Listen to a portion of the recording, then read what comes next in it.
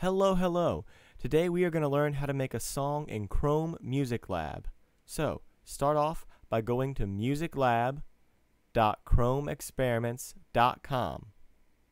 That'll bring you to this page right here. It's got tons of cool things where you can look at music on the science level and you can break it apart and see all this cool stuff. But today we're going to go with the first tab, Songmaker. So click on the arrow and let it load up. Once you're in Songmaker, you'll see this screen right here. What you have here are four measures. That's four groups of four beats.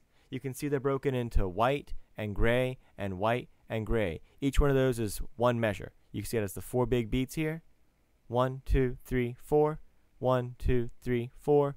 One, two, three, four. One, two, three, four. Those are like our quarter notes. If you notice, each beat is also broken into two parts. So those would be our eighth notes. That'd be 1 and 2 and 3 and 4 and. So each column you see here going from the top down, every column is one eighth note. It gives you two instruments to work with. You've got the melody that takes up all this space down here, and then you have the rhythm that takes up these two bottom parts. And you have tons of different instruments to choose from. You can use the piano, the flute, the strings, and change it by clicking on this button right down here. So you can go to piano, strings, woodwind, flute, synthesizer. I'm going to stick with marimba. And you've got other drums too, electronic, blocks, kit, conga. I'm going to stick with the marimba and the electronics today. So remember, every column is one eighth note. So if I fill in every note on the drums, I'll get this sound.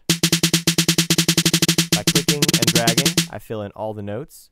So now if I hit play, 1 and 2 and 3 and 4 and 1 and 2 and 3 and 4 and 1 and 2 and 3 and 4 and 1 and 2 and 3 and 4 and stop.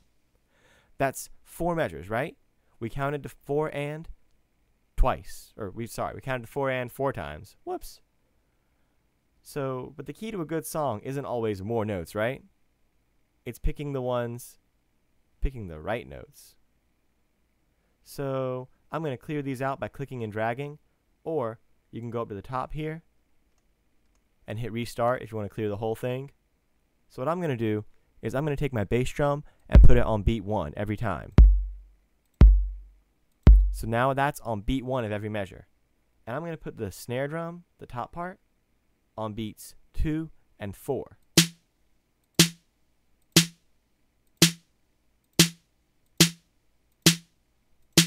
I'm not putting anything where my head is. So now if I hit play, I have one, two, four, one, two, four, one, two, four, one, two, four, and stop. So now we're getting starting to come along. We have a bass line, we have a rhythm going on. If you're following along in the video, this would be a great time to pause and fill in what's already there. And if you pause and unpaused, now let's go on and add a melody. So what you see this whole space up here, that's our melody space. This starts on Do at the bottom and goes all the way up. Re, mi, fa, sol, la, ti, do. Goes from Do to Do, and it keeps going. Do, re, mi, fa, sol, la, ti. All the way up to the Ti, and they don't have another Do. So they only go from Do to Do, then up to Ti. Today, we're going to stick with this range. We're going to go from Do to Do. That's one octave. Remember, it has eight notes. One, two, three, four, five, six, seven, eight. So for starters, let's keep it simple. We're just going to put do, do, do every measure.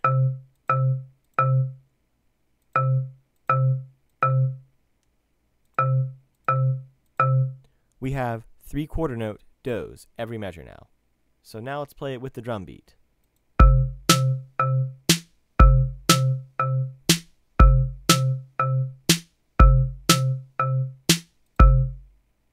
That's coming along, but that's kind of boring.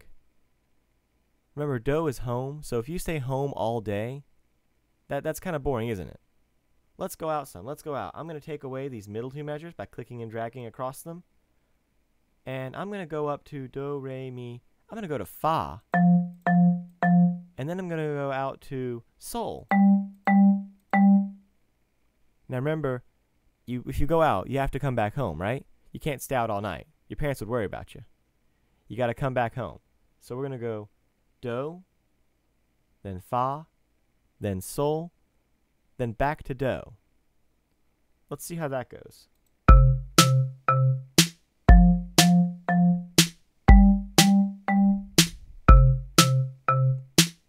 We can let it keep playing.